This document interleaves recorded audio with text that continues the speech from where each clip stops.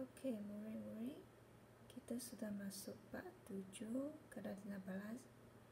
Okey, ini muka surat 109.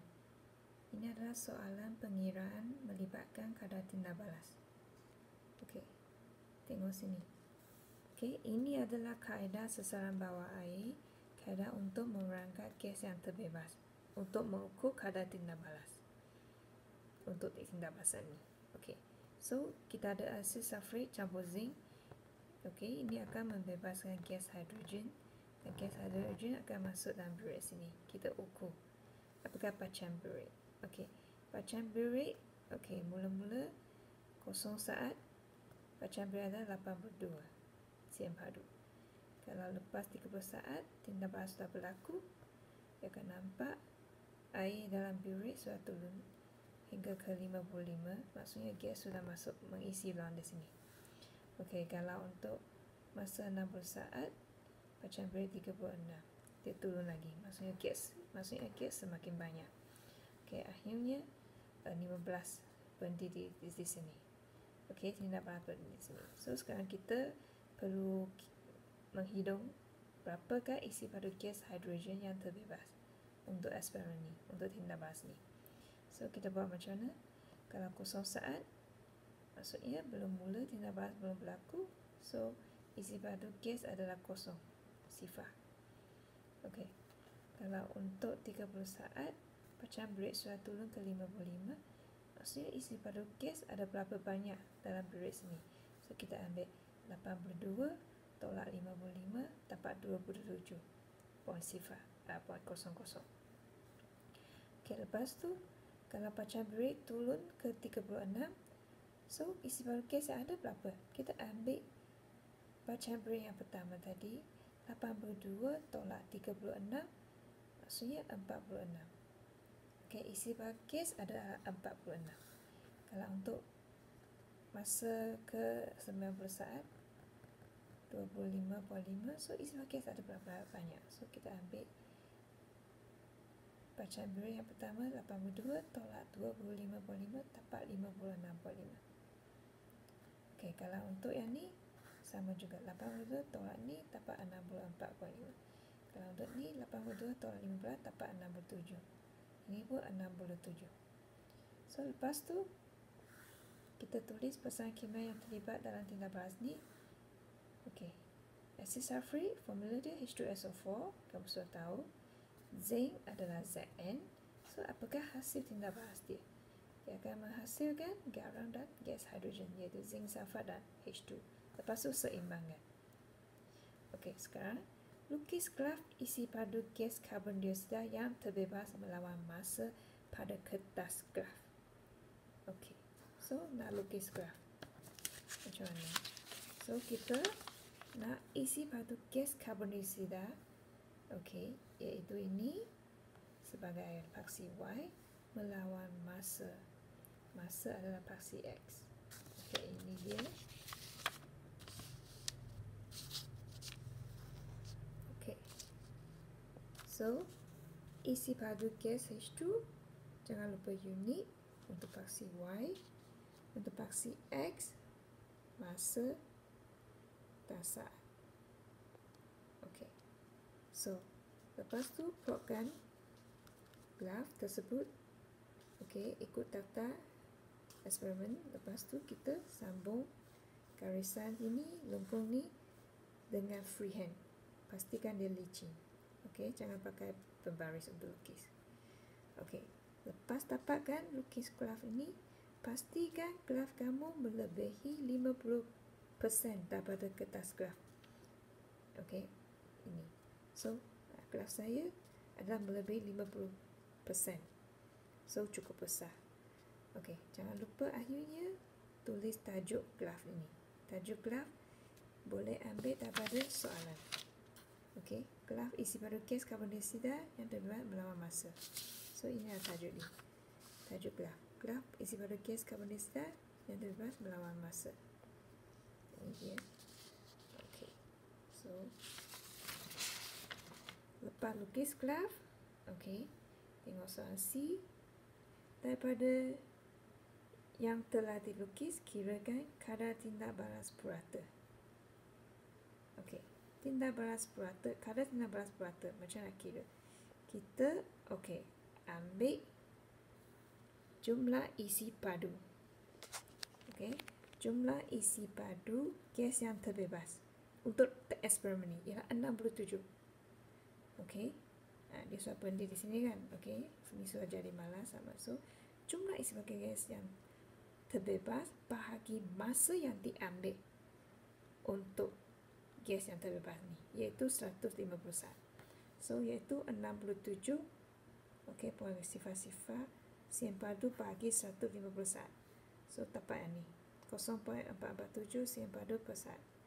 Ini tindak balas kalau tindak balas purata secara purata. Okey, kalau kita nak kita akan ada tindak balas purata dalam minit pertama, minit pertama adalah ni. Satu minit 60 saat. Dalam minit yang pertama, isi padu gas yang terbebas ialah 46. Okey. Tolak sifar sebab untuk minit yang pertama. So, minit yang pertama uh, tolak yang masa ke uh, saat uh, kosong saat So maksudnya kosong lah. Isi padu dia kosong. So bahagi masa Masa adalah 60 bahagi kosong.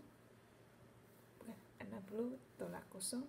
Okey Dapat 60 juga. So bahagi dapat 0.767 siang padu per saat Ini akan tak kadar tidak berapa tu minit yang pertama. Dalam minit sini. Okey, kalau nak kira kadar tidak berapa tu minit kedua. Minit kedua maksudnya 120 saat. So, apakah kadar tindak balas di sini?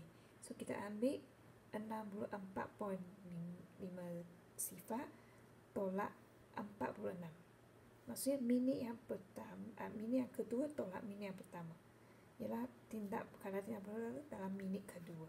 So, lepas kita tolak, isi batu tolak yang isi batu yang pertama sini, minit pertama sini, lepas tu bagi masa mas, masa untuk mini yang kedua tolak mini yang pertama. Okey, itu dalam tempoh kedua sini.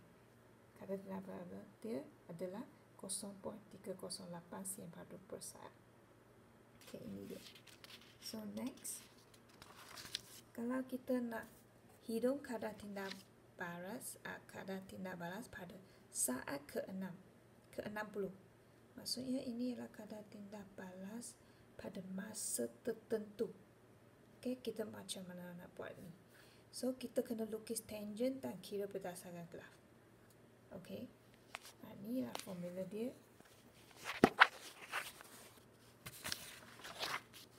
Okay, di sini. Okay, ini nota tambahan. Cikgu nak kamu catat dan salin dalam buku nota kamu. Ataupun mana-mana kertas test bag. Okey, so sebenarnya kadar tindak balas boleh diukur melalui dua kaedah. Itu kadar tindak balas purata yang kita cari tadi. Ini semua kadar tindak balas purata. Okey, dan kedua adalah kadar tindak balas seketika ataupun nama lain kadar tindak balas pada masa tertentu, bukan purata, tertentu. So, okey, untuk A, kadar tindak balas purata Ha, ini maksud dia. Kadar dia berapa merupakan nilai purata bagi kadar dia berapa yang berlaku dalam satu tempoh masa tertentu.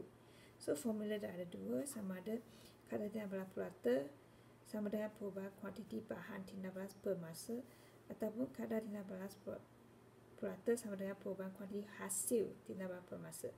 Yang tadi kita buat, contoh di sini, kita ambil hasil. Ini adalah hasil. Sebab kes yang terbebas adalah hasil. So kita ambil isi apakah perubahan kuantiti hasil di sini kita ambil perubahan dari segi isi padu. Isi padu gas hidrogen. Uh, isi padu gas hidrogen uh, iaitu hasil tindakan per masa. Okey, kita sudah kira tadi. So sekarang kalau untuk nak cari kadar tindakan pada masa tertentu kita perlu lukis graf. Okey, apa maksud kadar tindakan pada masa tertentu merupakan kadar dina balas yang berlaku pada satu ketika saja. Okey. Ha, pada satu ketika. So, kita mesti lukis graf dan mengukur kecerunan tangent lengkung pada masa tertentu. Contohnya kalau saya nak hidungkan kadar dina balas pada saat ke-30. Okey, ini graf dia. Okey, 30 di sini. nak kita nak tahu apakah kadar dina balas pada masa di sini. Bukan satu tempoh, bukan purata. So, B di sini, okay, maksudnya kita kena lukis satu tangent. Ini langkah-langkah melukis tangent. Kita lukis tangent pada saat ke-30. Sini 30. Lepas tu, kita lukis tangent AC di sini. Pastikan AB, B ya jatuh pada saat ke-30. AB, panjang AB adalah sama dengan panjang BC. Okay. Lepas tu, okay. Lepas lukis tangent ni, kita lengkapkan sambung membentuk satu segitiga tekat. Okey, baru kita nampak ini adalah satu kecualian tangent. So, kecualian macam kira delta y bahagi delta x. Delta y maksudnya y 2 tol y 2 tolak y 1 di sini. Okey. Delta x maksudnya x 2 tolak x 1 di sini. Kamu akan dapat satu tangent, kecualian tangent. Okey, maka uh, jawab balik soalan ni. Okey, maka kadar dina balas pada saat ke-30 adalah kecualian tangent pada saat ke-30.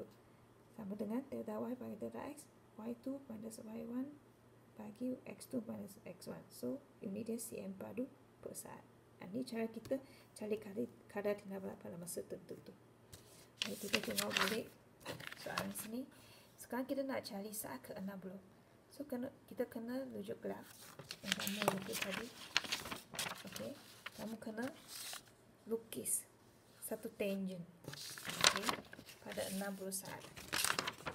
Okey di sini. Okey. 60 saat. Di sini.